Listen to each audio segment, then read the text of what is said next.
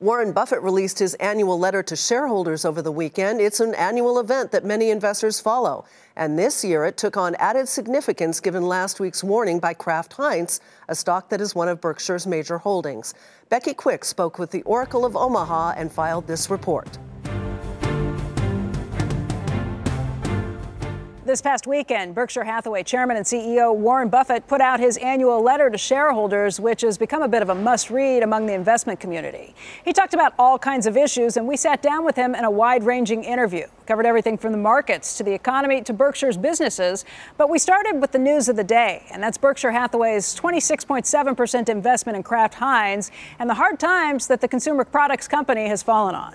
I was wrong in a couple ways on Kraft Heinz. I think we talked the Glide luncheon time about the packaged goods brands losing some ground against the retailers. The packaged goods companies are always in a struggle with, with retailers. My, our family had a grocery store for 100 years, and we went through it. Then we didn't have much bargaining power.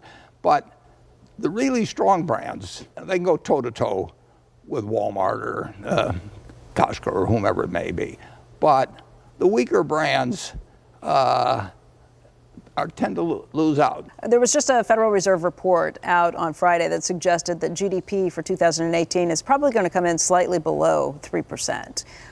What do you think the economy is doing right now, just based on your businesses, based on the receipts you see, uh, the companies that you track that you have major shares in? Right now, uh, just based on the monthly statements I get, and some cases I get other data in between, but overall things are a little better. Uh, I mean, the rate of improvement has tapered, but it certainly hasn't flattened. Uh, now that could change next month. For Nightly Business Report, I'm Becky Quick in Omaha, Nebraska.